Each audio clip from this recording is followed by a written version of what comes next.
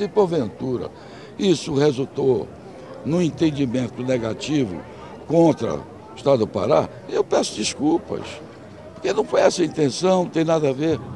Vocês paraenses são meus irmãos, como são os amazonenses.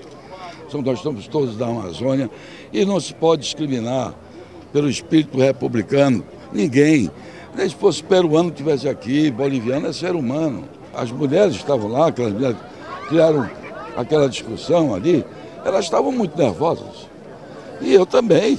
Eu, tinha morrido gente.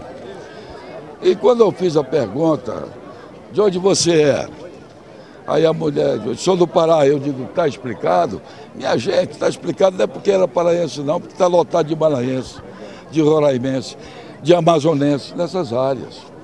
O que eu quis dizer claramente é o que eu tenho visto diariamente, nessas áreas de risco de cortar o coração, pessoas que vêm para cá enganadas, desvalidas, desorientadas e se instalam nessas áreas, colocando em risco a si próprio e suas famílias.